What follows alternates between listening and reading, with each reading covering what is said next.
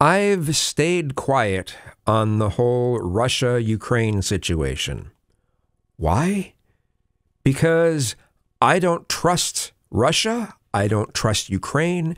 I don't trust NATO. I don't trust China. And I don't trust the United States. I don't trust any of them.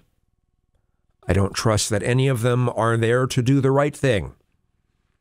So, I'd love to have more access to Russian propaganda just to find out what their their people are being told. Um, but Google and other search engines, even DuckDuckGo, doesn't want us to have that information. Now, I understand that.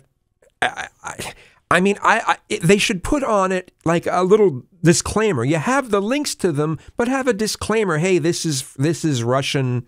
Even say this is Russian propaganda, whatever, right? I like to know what different people are being told so I can understand why some people make the decisions they do. I like to know why some people on the right feel as strongly as they do in some of the areas they do. I don't want to just look at people as if they're irrational. Most people have some sort of rationality in why they think the way they do, why they make the choices they do, why they take the positions they do. There's a reason, and I like to know those reasons. It doesn't mean I want to agree with them. It just means I want to understand people's positions. And I'd like to understand Russia's position a little bit more, but it's hard. Now, I am in no way condoning what Russia is doing in any way by, by saying this. I just want to know what they're thinking. And it's hard to find.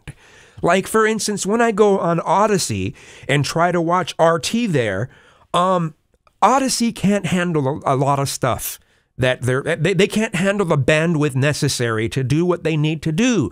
You can watch the RT feed there for maybe five seconds and then you get the little uh, uh, circle spinning for 15 seconds. Then you get video for five seconds, video, a little mini thing for 15 more seconds. It's not watchable. Another problem is you can't really get to. You have to watch all the other crap because it's only a live stream. They, they, they don't have a channel where they post individual videos anymore. So I'd have to sit and watch for hours their feed just to find out what they might be saying to the Russian people. And even that might not be that so because, you know, you're watching an English version, so, you know, you don't know. We don't know. And that's frustrating. But I'm not on anyone's side on this. I'm not on anyone's side. I just hope that this can be resolved without actually becoming World War III. Um, I don't like how the. I, I really, really am uncomfortable with the way that Biden's gaffes are. I mean, when Trump would say things that would offend people, at least it was just offending people and not something where it could trigger a world event, right? Um, I'm sorry. I just I, am just so disappointed, incredibly disappointed in Biden and, and, and the job he's done. But whatever, you know, um, this doesn't mean I would have preferred Trump, although sometimes I wonder